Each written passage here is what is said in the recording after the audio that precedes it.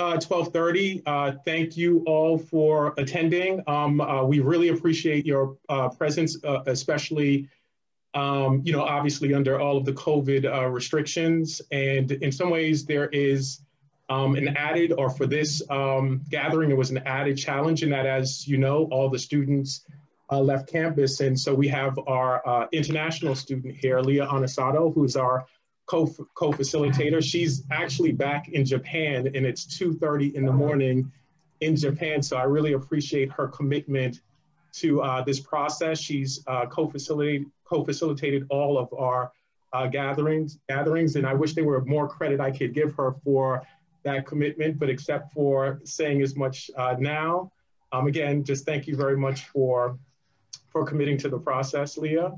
Um, today we, yes, okay. um, today joining us also is uh, uh, Kim Isaac DeBarros, um, same last name, we're, we're related um, through marriage. so, uh, and Kim was uh, particularly interested in today's talk in large part, um, uh, not necessarily because of the Shakespeare element, but because uh, she uh, has a PhD in counseling psychology and um, her specific uh, focus is multicultural counseling. so she was really interested in joining us just to uh, see what we're saying about um, Othello and the tragedy of racial self-hatred and to perhaps help us um, develop uh, an understanding or appreciation for the way in which these issues continue to resonate within our society.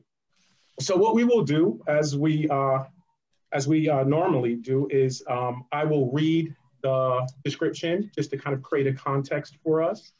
And then uh, Leah will do most of the heavy lifting in terms of the analysis, but I will chime in on occasion just to um, emphasize whatever points. And, um, and I will actually uh, read uh, Othello's, Othello's lines as well, but Leah will uh, take up Iago. And I think that's uh, a majority of the, of the passages or the lines that we'll have today, okay?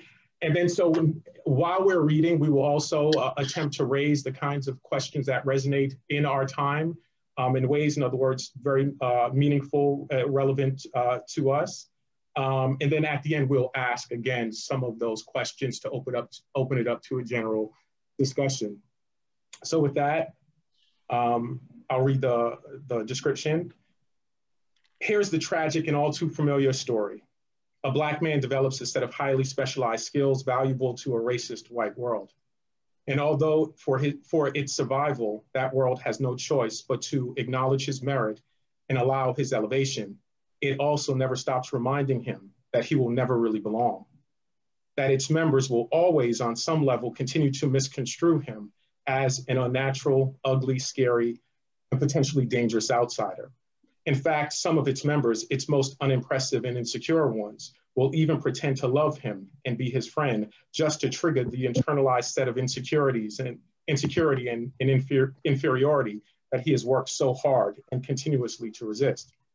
However, under the pressure of such complex and persistent abuse, it is only a matter of time before he tragically accepts those negative views and plays the destructive and self-destructive role that the racist white world ultimately needs him to play. This month's gathering will focus on the pivotal, pivotal passage in Othello, or Shakespeare's version of this story, when Iago first tricks Othello into doubting the legitimacy or naturalness of Desdemona's love for him.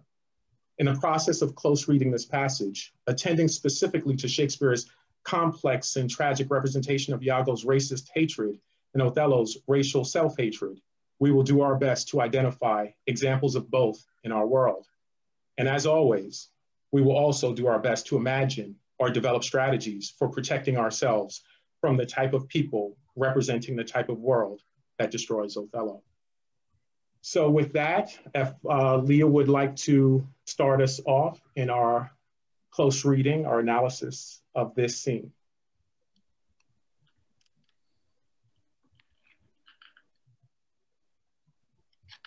All right, perfect. As always, thank you so much for being here. I'm excited to read um, Shakespeare and discuss it with everybody. And without further ado, let's go. Iago. Good name in man and woman, dear my lord, is the immediate jewel of their souls. Right off the bat, we know that good name is very important. We see that good name, which a good name is basically your reputation in a society. And Iago links it as the jewel of your soul, as the what represents your soul. I think this is very pivotal. Like we're materializing our soul as a reputation. Who steals my purse steals trash. Tis something, nothing. Twas mine, tis this, and has been slave to thousands. But he that filches from my good name robs me of that which enriches him and makes me poor indeed. Iago is lifting up this idea of reputation and a good name to be more important than money, to be more value than money in his society. And I think we should question whether that's the same in our society today. Is reputation important? Reputation is always important, but how important is, is it in our society today? What does it change? And is it more important than money? Right. And, and if I could jump in, it's as, as you're saying, how is uh, a reputation um, defined? What does a reputation mean? And I think as importantly, more importantly perhaps, is how do we how do we measure it? How do we define it? How do we how do we see it, right? And that's so it's in some ways it's a little ironic that we have Iago uh, talking about a good name is more important than wealth, but then he defines it in terms of wealth, right? It is the immediate jewel of their souls. So that which is often, as we'll see, that which is, is often um, invisible, that within, whether it's a soul, a good name, is something that this society has to visualize, has to materialize. And as we'll see, that's in, in some ways the basis upon which he's um, working on Othello. So by heavens, eh, eh, I'm up, right, Leah? By heaven, I'll know thy thoughts right? And that's Othello. He's he's reflecting the frustration about a society that so values material wealth and what we can see, and think about the relationship of that to um, racial difference, the visible versus the internal. I also think that Othello's desire to know Iago's thoughts represent shows how much opinion matters and how much what other people think of you matters and when and people have power over you when you care what they think of you iago you cannot if my heart were in your hands nor shall not whilst tis in my custody. Once again there's this idea of heart and soul something that's within you being something that is represented outside as your reputation and your name um, and that we use these to define us to define our souls and our heart. We use what people think of us to define them so othello responds huh i'm not sure what that means but we'll move on huh go ahead oh beware my lord of jealousy this is the first instance we see jealousy come up, but it's going to be pivotal throughout this reading. Um, and I think that, first of all, jealousy is born out of a dissatisfaction with yourself or an insecurity of yourself. And it's it's like comparing yourself to others is what it is born out of too. Um, it is the green-eyed monster which doth mock the meat it feeds on. That cuckold lives in bliss, who certain of his hate, of his fate loves not his wronger. One thing that we notice here is that in in the case of a cuckold, the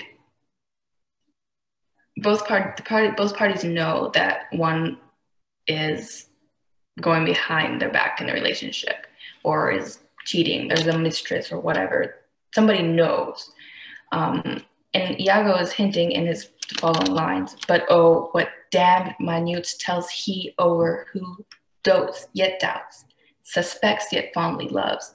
Iago is saying that it's worse to not know, but to doubt the love, to doubt, but still love, to be suspect, suspecting but still loving them, not know for sure. That right. this and causes jealousy. Say, say again, Leah? This causes jealousy. This is what um, and, gives birth. And just to, to connect a, a bit to what uh, what we've already said about about good name, uh, reputation defined in terms of let's say external material objects, jealousy itself um, is connected to that in that uh, a man objectifying or a woman defined as an, an object of value for a man. So that the root of jealousy is also this kind of this need to objectify those things that aren't aren't easily or reliably objectified. Oh mercy. Poor and content is rich and rich enough. Once again, we're seeing this idea of wealth. We're relating reputation, jealousy, emotions to wealth. We're equating them and quantifying them as well. But riches fineless is as poor as winter. To him that ever fears, he shall be poor. Good God, the souls of all my tribe defend from jealousy. What's really interesting here is that Iago is calling on the souls of his tribe, setting up this tribe, this sense of tribalism and the sense of his people, his um, relatives, or people that he belongs to, which kind of sets him up as other than Othello. And he's just introducing this idea of their differences and, and then linking that to defending him from jealousy. Right. So then he continues, Othello responds, why? Why is why is this? Um, thinkst thou I I'd make a life of jealousy? And I think what Othello is missing there is that Iago isn't necessarily including him in the tribe. He's assuming a kind of inclusion, and, and Iago's in the process of playing on his outsider status, that he is, in, he is excluded. To follow still the changes of the moon with fresh suspicion. No, to be once in doubt is, is once to be resolved, right? And that's the certainty that Othello, because of the insecurity, his insecurities, uh, the vulnerabilities in the society, he wants certainty. That is, the way one appears is the way one is. But in a racist, in a, in a racist society, it all depends on how those appearances are, are read. So then he goes on to, uh, he, he goes on, tis not to make me jealous, to say my wife is fair, feeds well, loves company, is free of speech, sings, plays, and dances well. Where virtue is, these are more virtuous.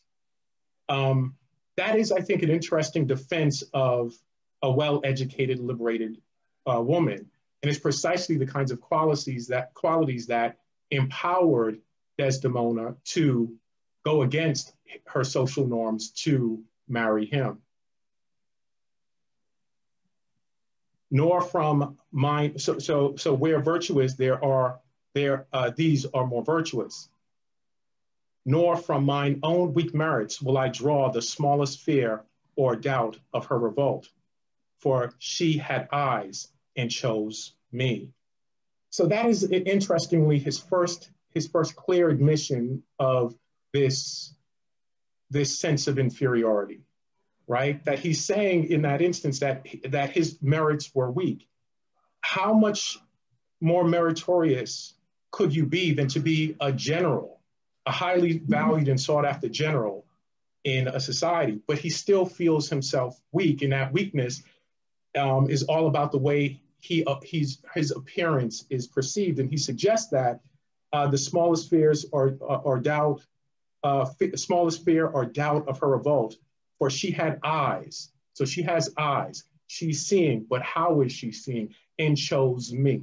Othello uh, or uh, Iago's job is to make him question how or how precisely Desdemona saw him. No, Iago, I'll see before I doubt. So there's that that attention to really an obsession with seeing and how we see. I'll see before I doubt. When I doubt, prove. And on the proof, there is no more but thus, away at once with love and jealousy. Also, just note like how one is seen is really linked to your reputation and how people perceive you is basically your reputation. And so it's not just about how you look and how Desdemona sees him, but it's also this is also all about his reputation and how everybody sees him because Desdemona chose him.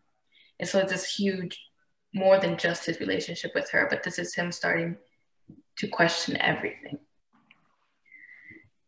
I am glad of this, for now I shall have reason to show the love and duty that I bear you with franker spirit.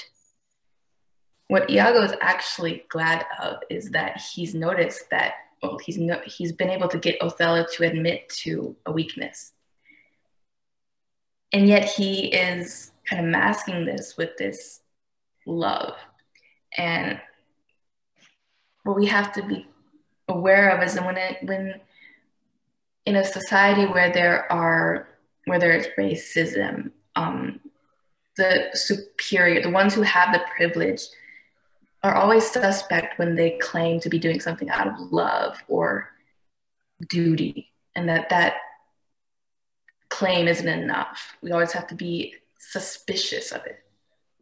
I think I think uh, Leah, when we um, and we didn't have a whole lot of time to um, to, to really uh, to read and, and prep for this, so it's kind of it's enjoyable that we're still in the process of, of, of doing so.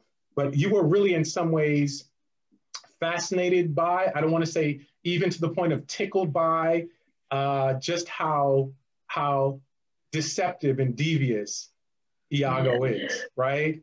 And he is precisely the kind of character that would, um, that would, uh, that should make us uh, very, in some ways, suspicious uh, as we navigate a world defined in, in, in, a lot of ways by corruption. In this instance, it's based on this racial, uh, this, the, this uh, racist hatred, but just in the, let's say, the political world, right? We can't just be so trusting of anyone, but especially those who go out of their way to declare their love and support of us. As outsiders reading, see how suspicious Iago seems, but we can also see how completely he's playing Othello. He's right. he's got Othello right where he wants him to be, and that's scary. Right. Therefore, as I am bound, receive it from me. I speak not yet of proof. Look to your wife, observe her well with Cassio. Where your eyes. Oh, just if I could interrupt, look, observe. So that attention to looking continued on where your eyes thus. Right. Not jealous nor secure. I would not have your free and noble nature out of self bounty be abused. And I think when he refers to Othello's nature, he's kind of defining Othello in this part. And so we already we can already see him like giving these labels to Othello mm-hmm. and playing with that but, but also but but also that the free the free and noble um, nature. Let me find that again. Um, right, I would not have your free and noble nature, and that's precisely in some ways the problem in a, a society where everyone is hiding their true feelings or attention, intentions. Right, and Othello is the one who is just open. That's not a good strategy to protect oneself to, to survive and to thrive within a corrupt world. Look to it. I know our country disposition well. Once again, we see that tribalism. We see Iago naming his, he calls it our country disposition well, our country disposition well. But there's this sense of separation, this sense of he knows it but implying that Othello doesn't really know. Um, and there's just this this idea of majority versus minority. She did deceive her father marrying you, and when she seemed to shake and fear your looks, she loved them most. So this is saying that Desdemona found Othello's looks to be almost disturbing or unsettling different but despite, and I think the word despite is so important, but despite that, despite his color, his looks, she loved him still, or she loved him most because of that. And that's just sending this image of these contingencies to her love. Mm. And, and I think it's, uh, it for, she becomes she becomes in that instance in that description is a, a complex character, right? It's not a simple matter of her easily looking past her her society's racism, right? That it is a struggle for her to do so, right? So, um, so despite her progressive actions, she is not without or beyond a negative view of blackness. So even if we think about, um, let's say, a progressive-minded white person, it's not as if we could make the assumption that that progressive-minded uh, white person is without, is ever without racial bias. And did you finish uh, that, Leah? Yes. Um, and then Othello responds, and so she did. Ah, right. He's focusing on that now. What does it mean that she she found his appearance disturbing, frightening? Why go to then? He that so young could give out such a seeming to seal her father's up, seal her father's eyes up close as oak. Is this idea that her father had to have his eyes closed up for it to be accepted, for their love or that their love and their marriage was so unnatural or wrong that she had to close up her eyes, close up her father's eyes. He thought was witchcraft. It had to be witchcraft to be real. It couldn't be real. It had to have something going on behind. It's just questioning the legitimacy of the love. But I am much to blame. I humbly do beseech you of your pardon for too much loving you. You just see that again, the whole claim, the declar- declarations of love, it's over the top. And it's it's this it's a declaration of love that's actually exploitation. And that we have to find ways to become aware of that in a society in, in every society. Right. I am bound to thee um, forever. Eric and leah this is kelly. Sorry i don't have my laptop with me and my computer doesn't have a webcam um, so i'm talking on my phone but i was just wondering for a second i was really struck rereading this by the seal his eyes up like oak uh-huh. and it's a very poetic phrase and i was just but i hadn't heard it before. And so I was just wondering, I don't want us to get off of the main topic, but I just was wondering if either of you knew a little bit more about that phrase. Well, let, let us finish, um, let us finish the reading and then we'll come back to that question. Okay, awesome. So uh, where were we, uh, Leah? Uh, I think I think you just read I, I am bound to thee forever. So I think it's me. Right, right. I see this hath a little dashed your spirits. Not a jot, not a jot.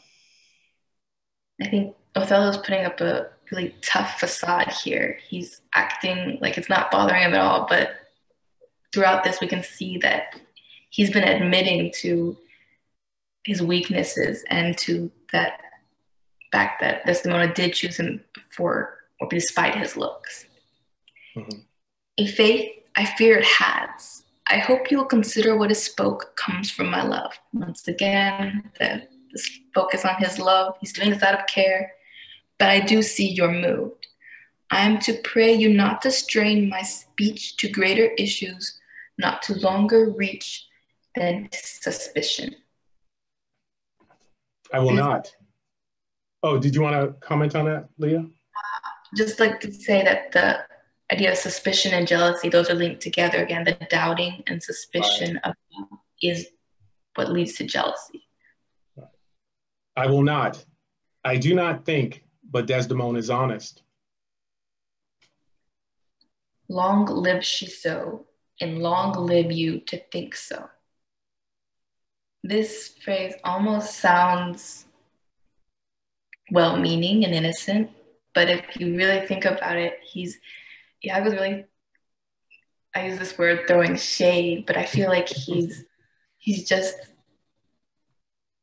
actually insulting Othello and belittling him as well as like looking down on him because Long live you to think so.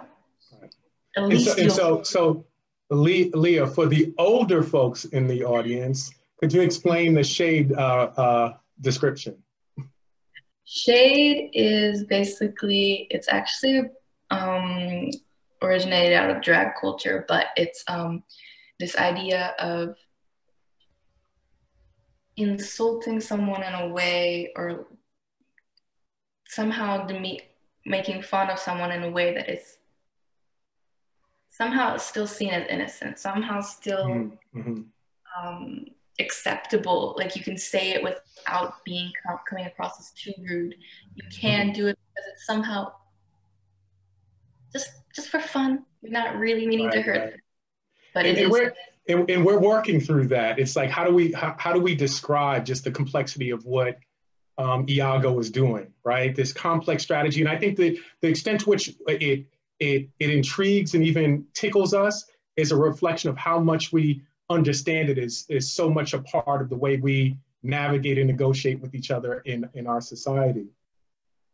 Um, so, so, then Othello responds, and this is really the pivotal point that uh, captures uh, for me this this sense of self hatred is when he says, "And yet, how nature erring from it erring from itself." And then Iago jumps on that. I, there's the point, as to be bold with you, not to affect many proposed matches of her own clime, complexion, and degree. There's this idea that this Desdemona should have gone with somebody of a different clime, complexion, and degree. Of her clime, complexion, and degree, right? It's back to that that notion of tribe, right? Of of and I think you you described it as group or family even, right? Um, and he's out, so it's a way of, of, of highlighting Othello's outsider status. And that it's somehow that what they are doing is unnatural. Right. Where to, where to we see in all things nature trends, for one may smell in such a will most rank foul disproportioned thoughts unnatural. But pardon me, I do not in a position distinctly speak of her, we clearly see that he does distinctly mm-hmm. speak of her. Though I may fear her will, recoiling to her better judgment, may fall to match you with her country forms and happily repent. He's saying that in the end, eventually, there's a great possibility that she's going to realize that she doesn't belong with you because this is unnatural. She belongs with her own people.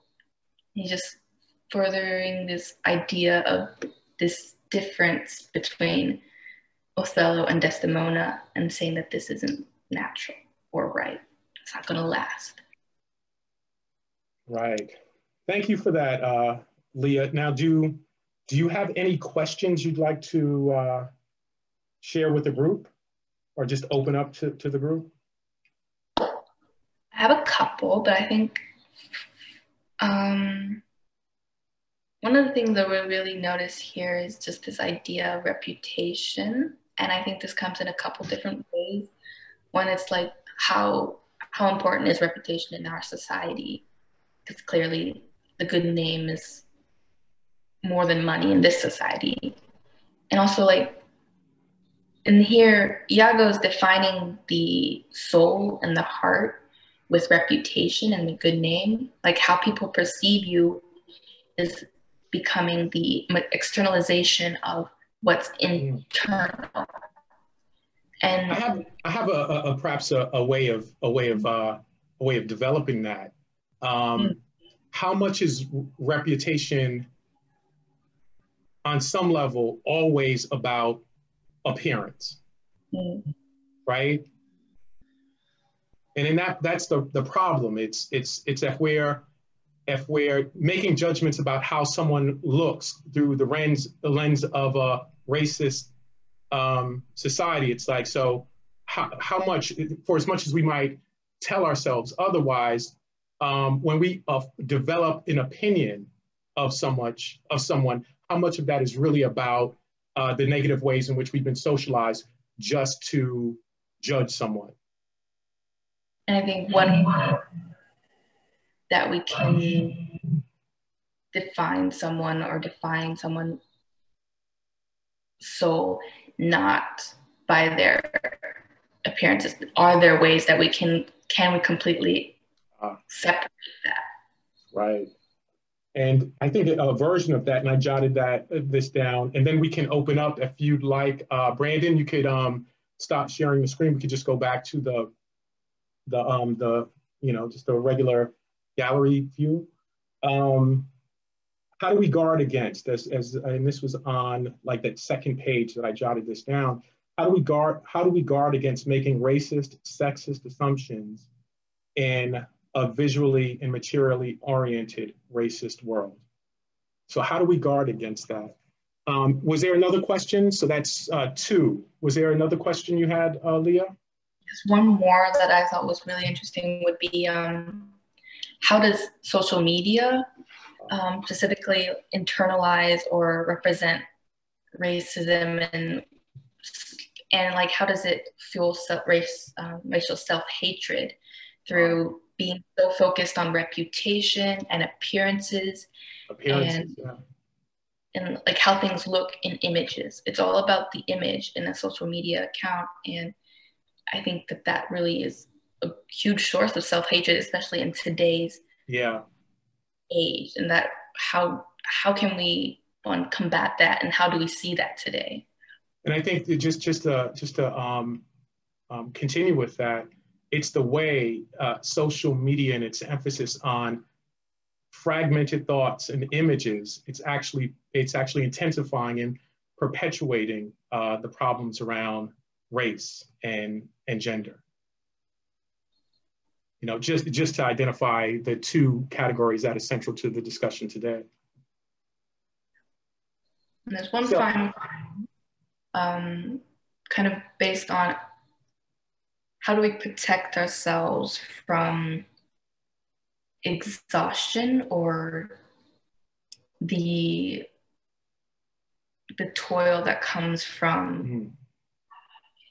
both self-hatred and fighting against self-hatred. Right. That and when what, you're in a world where you have these negative images perpetually, um, you know, projected, right? That you're you're you're always defending yourself against those those negative assumptions about uh, what does it mean to be black. I think that in one of I think it was in our first gathering you talked about just the way as a biracial um, as a biracial uh, woman that is um, as Japanese and white American, right? How you're read, and in some ways, stereotypical ways in the American context and in the Japanese context. And so that it puts you in this position of perpetually um, guarding yourself against that or disabusing people of those stereotypes. And it's, it's, it's, it's exhausting. So how, so, so how, as you're saying, how do we guard ourselves against how do we protect ourselves from just the exhaustion of, of, of navigating um, a, a racist society?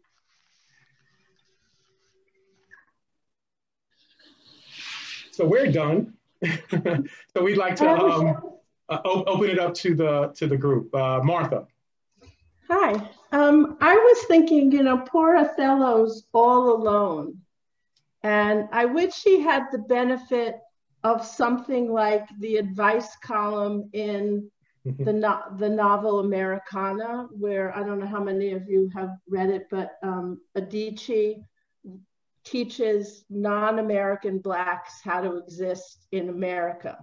Mm. And, you know, to say when, you know, jealous white people profess to be on your side, be a little bit suspicious. He has no, I mean, his only loyal person is not black, Cassio, and he doesn't know that he's being played either. So, right, you know, to be all alone as the only one like him and judged and have nobody to tell you how do you know your self-worth and how do you know how what to be suspicious of? Right. Yeah. I think it's interesting that you raised the uh, uh, cassio is, is, as well, and that um, there are levels of, of outsiderness because Cassio is himself an outsider. Um, but this goes back to, to uh, what Leah and I emphasize about just uh, Iago's emphasis on, on the tribe, the, the, you know, the, the, um, the in group, right? That Othello is completely alone in this world. And in some ways, go, on, sorry. No, no, alone in this world. And, and in some way, um, that is continues to be the the cost of success in a white world, right? That seldom will you find a situation where there's a critical mass of Black success. It's usually one at a time. Yeah. And then there's the whole sexualized fear early in the play where they're like that terrible comment about the black ram and the white ewe, you know, that that existed then. And, you know, that was the cause of all the Jim Crow horror, and even today, I think um, you know there there's a, I mean she where she says um, where he says um, in your passage she was she seemed to shake and fear your looks and it was kind of exciting and was this some kind of exotic adventure you know it's right it's very current it's taboo right Can I just say say something uh, just for a minute? That is that um, we don't actually know anything about how Desdemona feels. All we know is what Iago is saying, right? And right. Iago is a liar, so he's right. not. He could well be lying. How would he know what Des- Desdemona really feels?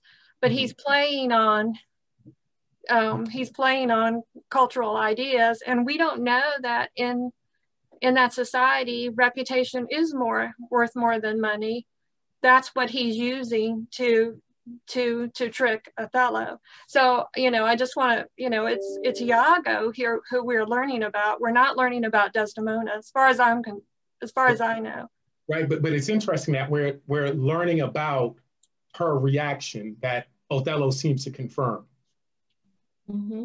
Right. But he, but but but he is he's he's he's grown up in that society too. So I don't I don't I don't know. I mean, I just it, I'm always suspicious. Well, and and maybe more in real world than in literature when two people are interpreting another person's behavior. Right and they're right. both men and they're interpreting this woman and right. i'd rather hear from that woman than exactly yeah yeah and, and, and it's it's that obsession as we're talking about with the superficiality of reputation so they just focused on her her appearance right as an object and it's like so the what's frustrating about this this play and i think this is what you're getting at ruth is why didn't he just talk to her you know um, he he he he, uh, he talks about uh, just how how well educated in in um, in in open open she is in public even that she speaks well I think as he said and these aren't bad things but it's a, it's it's as if Iago drags him into seeing them as bad or at least insignificant things enough just to read her appearance in a specific way. May I? So, yes, Manuela. So I, I, was thinking, speaking to both Ruth's point and your point, what uh, what's so um, wonderful about this uh, passage is the extent to which Iago can play Othello, Othello on his expectations of women anyway. He has just spoken of how in Venice women just care about the appearance and and and and and here he is quote unquote proving that Desdemona is deceitful by telling him she hid her attraction to you from her father. He thought it was magic because he never saw it coming. Mm. She pretended to not care for you, to fear you, to deceive him. So he's just proven to him that she is deceitful. Right. And and and of course he will not talk to her because Iago is is first proving that she's deceitful by reminding him that she deceived her father, one so young, he says, and she could deceive so well. And then he is also exploiting his fear of being absolutely alone, that he does not belong, yeah. and so he can't even talk to her. He he cannot he cannot disprove this proof because he is alone. And Desdemona has seen him and loved him, but what if that was also performance, like she performed for her father? So, so he's been totally severed from any capacity to judge, you know, rationally or or or reassure himself with verification of the truth. So it's I don't know. It's, it's fascinating. It's a moment of such agony for you know for a yeah. reader seeing how right right.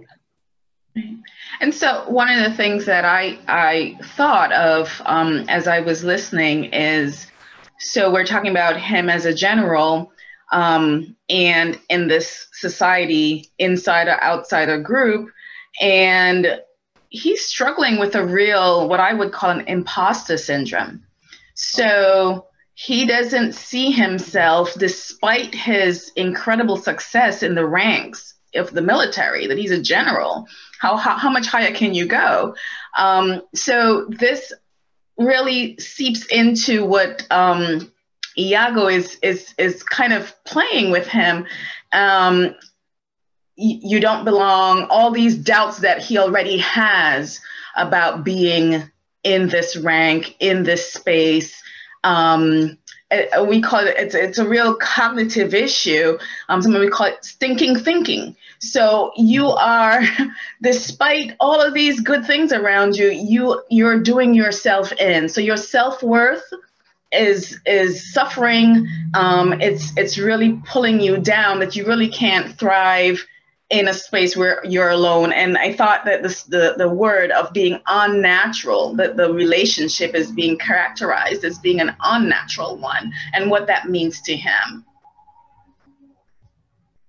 i think and going yeah. back to, oh sorry. hey charlotte yeah hello everyone um, no. And I think going back to um, what Leah mentioned about throwing shade at some portion of the um, reading, I think that it also connects back, the entire reading connects back to another social media idea of gaslighting. And that is uh. when you manipulate someone's thoughts into believing a certain, a certain thing that they experience is actually false. And it's considered abuse. It's something that is mm-hmm. intentional and it's considered a form of uh, intimidation. So we see uh, Othello uh, go through this whole process of being gaslighted um, by Iago. And so for me, the one phrase that keeps on popping up in terms of how to shield oneself from all of the bombardments that we, mm-hmm. we receive from social media and from the media um, mm-hmm. would be a line that Othello mentioned, which is wear your eyes. And so wear your eyes indicating that it, your frame of seeing or your frame of viewing or of understanding must always um, be on. You always have to have it on. You cannot take it off at any point in time, or else you will face the very thing that he says, which I think Kelly mentioned is closing your eyes, uh, closing uh, your eyes like oak, like having your eyes shut as tightly as oak. So wearing your eyes is a way to prevent yourself from having your eyes wow. tightly shut as oak. Right. right. It, it, feels to me, and just, just from what everyone is saying, that um, um, by training, I'm, I'm, I'm suspicious of, of essentialism, right? That there is um, um, that there is an essence to anything that that basically things are mat are, a matter of linguistic social constructions, right? Um, and that's in, in some ways that that's that's uh, uh, an effective or product, a potentially productive orientation to uh, a text that's all about reputation, right? Uh, reputation, social rank, identity, um, wealth as measure of one's one's uh, one's character, um, as Kim identified with, uh, with the status of a general, he's a general. How much higher can you get? But if, if that is pretty much the sum total of, of who you are in a society that still questions your status within that society, within that society, there is that, that perpetual sense or need for something more.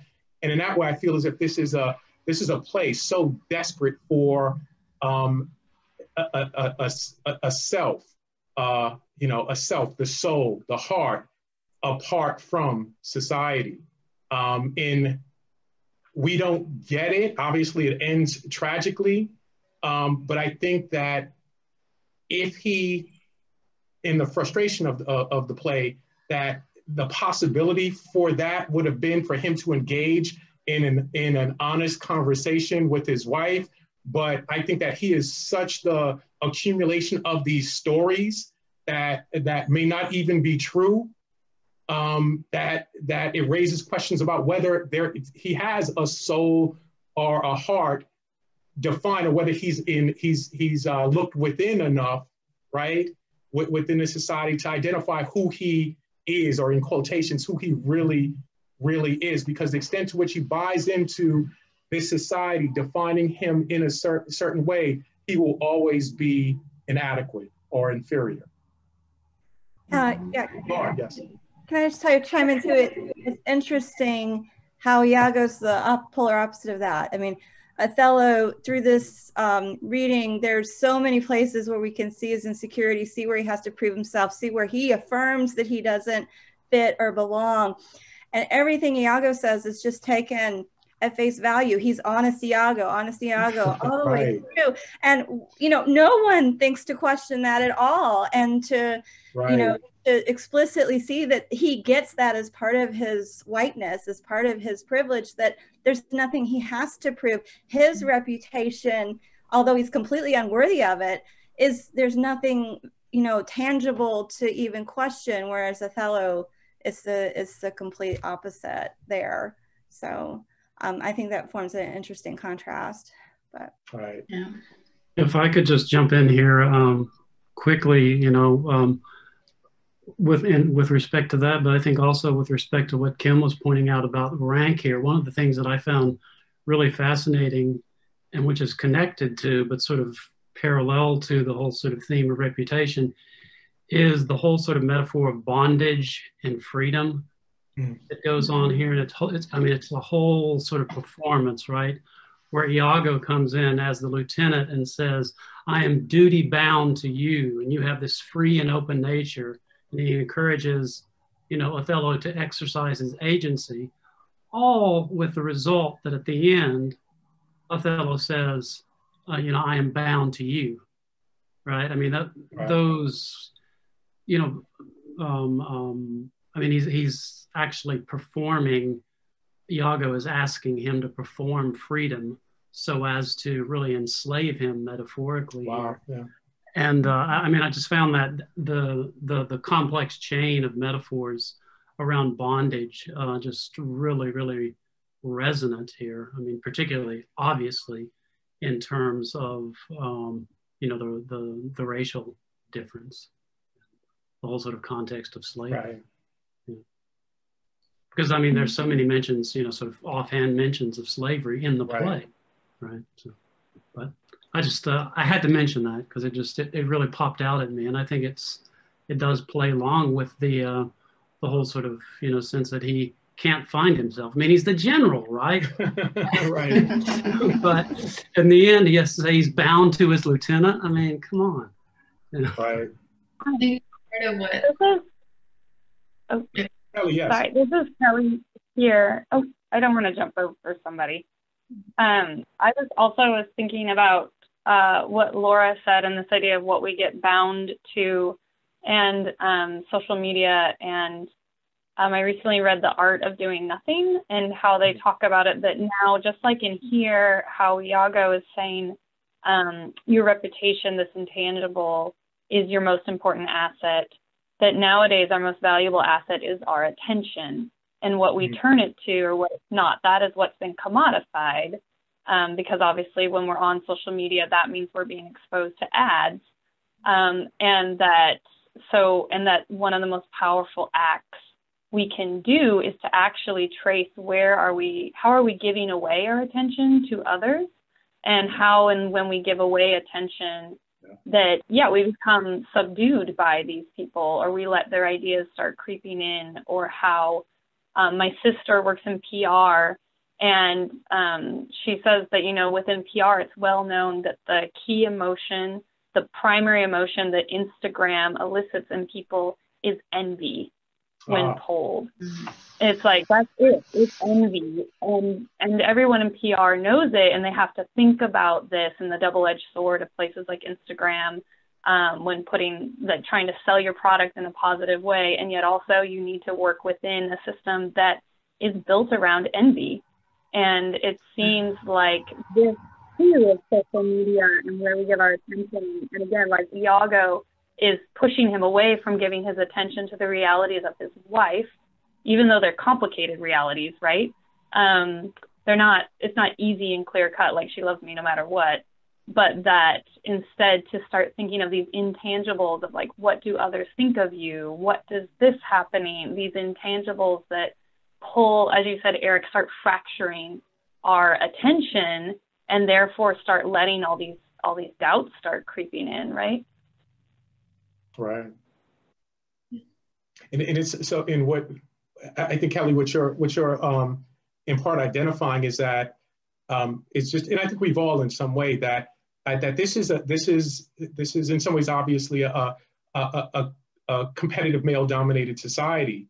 So just from the perspective of someone like Iago, when you have these outsiders in Cassio and uh, in Othello coming in, so his mission is to try, how do we um, so in some ways, Laura, it's it's his his his his his white he's playing on his white privilege, right?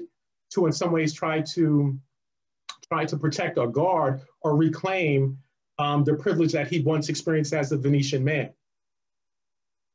Mm-hmm. Right. And so it's it's the way race trumps that that uh, that national that national distinction to try to to, to try to recover um, the privilege attached to that that uh, that um, that national uh, position or, or, or, identity. So I think that it's that, so, so to focus as Kelly is focusing on or to identify envy. This is an incredibly Othello as our own society is an incredibly envious and competitive society. And the interesting thing about our society played out as it is on so much of it on social media, it's it's it's so much of it is just is just images, right? It's virtual. Um, so what is in the final analysis, what is what is real? That's always my my matrix reference. Um, uh, what is real? And it and it seems to me Othello and saying, you know, in in needing him to be honest, Iago, right? He has to believe that because this is a world where everything is about this competition or this this this competitive this competitive mediation or the representation of of uh, the rep- representation of a reputation, right? Representation of a reputation, of a good name. And so social media, I think uh, it's it has the this a similar, if not um, for us, an intensified uh, effect. Um, that it's just about appearances, and that's the, the accumulation of, um, of of status. It's is it real? And I think that the that the play is is desperate for something real. And I think Othello had the closest thing to something real in his relationship with uh, with, with Desdemona, um, but he is so defined by that superficiality, that materialism, that that uh, competition. Right. So I think in terms of competition or the um, his again the self worth, going back to what he is worth and how he assesses himself um, in in comparison to or related to the persistent nature of others as we see in social media or the way that Iago persistently um, trick trickily um, was trying to undermine him and establish that doubt. And so one of the questions that Leah you posed um, very very early on um, thinking about how do we guard ourselves against um, such persistence um, and such damage to um, what we consider our self-worth and who we are, our self-esteem. And a lot of that, um, I think Martha had mentioned some of that too, like I think it was Martha, being alone. Like how do you um, deal with success? How do you deal with marriage? How do you deal with friends, colleagues, Instagram, and the like um, while you're alone. And so a lot of that has to do with you creating some of your own um, support system. So, what are the protective factors? How do you protect yourself against all of this that's going on? Um, around you. And so you know i think in terms a lot of it a lot of us kind of get some of that from our families kind of saying well this is this is who you are. This is how you establish yourself. This this is who we are. This uh, we are proud people that you're coming from. So helping you to establish that. And then as you grow or as you establish yourself professionally um, then you then choosing some people, hopefully not like Iago, but choosing some people to help you um, go through life without being so lonely and establishing some more positive um, supports. But you have to really start sort of tapping into some of those strengths and then your ability to cope and um, sort of the establish further establish your self-esteem because that's something that it's not already there. It's something that we have to work on every every day um, in all the relationships that we have in our lives. I think one real world point is that othello is iago's boss kind of tying to kim's point. Here's this workplace and here's this other you know Iago's black boss. Um, and so how, how does Othello um, make sure that his the people who are supposed to be supporting him, particularly as a general in war, where you need loyalty from your troops, right. are actually on your team. Um, and he, he, you know, he he wasn't able to do that, which is part of the tragedy. Um, he's far from home. You know, he doesn't have his people. His people are Moorish, back presumably back in Africa, right? Mm-hmm. Um, so, you know, you're right. The one person who could have backed him up, and everything she says directly does sound like she loves him and is loyal to him to the end. Um, but he doesn't. That doesn't help him in the workplace you know, just just uh, I guess just to provide a, a little context, um, the only thing, um, or I'll just say one of the only things things we know about his background is in the story about the handkerchief uh, exchange between his mother, his mother, his yeah. mother and father, and um, there's an inconsistency in that story, okay. right? So it raises the questions about whether or not um, he's honest with himself and certainly with Desdemona about his own past. So I would say, and of course I don't, uh, not from a from a psychological uh, perspective, um, but um, you know we have to be honest with ourselves as well, right? And I think that there's uh, there's a level in his storytelling, there's a, a level of hyperbole and dishonesty, and that's in some ways a, uh, a reflection of his insecurity within this world. He needed that to be successful as a glorious general. But we have to also, I think, be okay without the exaggeration. right? Because that's that exaggeration is a reflection. It, it, he's trying to compensate for those, for his isolation and in all of the kind of the racist assumptions around him or that that define him. That you know that you're in the world, but not of the world, right? You're not of that world. You're you're protecting how do we protect ourselves within within that world? And i think in an interesting way with with the two minutes we have left i think one of the reasons leah found finds iago uh, uh, uh, so intriguing is that in some ways he's connected to desdemona. Remember she had to withhold her feelings from her father. So it can be a positive strategy of advancing oneself in a racist sexist corrupt world um, so we can't be as open as Othello in that world. So we have to be very careful, very strategic about the way we find or make those connections, form those connections, that support group or that family. Um, so she is, she provides all of the answers in her conduct, right? And in uh, the potential of Othello just to reach out to her, to connect, to have an actual honest conversation uh, with her. The, the, the tragedy is that his racial self-hatred, defined as it is within a society, prevents him from doing that. He did make one positive move in um, taking Cassio over Iago. I mean, I think that's true. They say one of the pieces that Iago's so jealous of is he was passed over for a promotion, not to get so corporate, but in right. putting the right people in the right positions, he did one thing well in picking Cassio. Right. So we're, we're out of time. Um, any parting comments? Fun. Okay. Oh, uh, I have one. Oh, sorry, Eric, I have one. This is Kelly. Oh man, I wish I could have gone to all of these.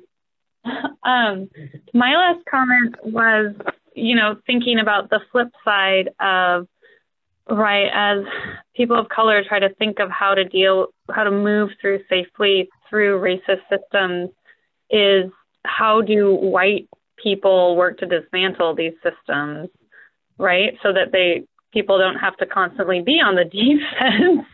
um, and was just thinking the um, the argument that Iago insinuates this um, what is natural is for two white people to be together, for instance, right? Like should be with like, and I was just thinking about how um, since I've moved to Norfolk, actually, I have heard this argument, and I'd never heard it before um, in other parts of the U.S. The other parts of the U.S., the racism, the flavor is different where I lived, but that once again is this way of thinking. Like for me as a white person to be like, oh, I really need to like confront the insidu- insidious ways that this shows up um, in white only spaces, right? And like even when there's sometimes tiny small things like in my neighborhood association where they're like some people we don't like fishing on our block but it's like you know the people who go fishing are black consistently right like there's like there's these all these tiny little ways that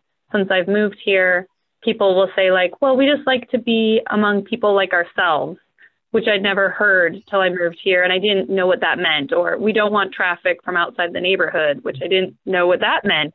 Like there are all these things that I've heard since I moved here that I've never, I, it's taken me a while to even figure out what it meant, but that it's this same insidious, insidious way of not coming out and saying black people and white people should be in separate spaces. And I think many of the people who say this are very liberal or consider themselves progressive and would never, if they followed their logic all the way, they would probably be horrified at the results.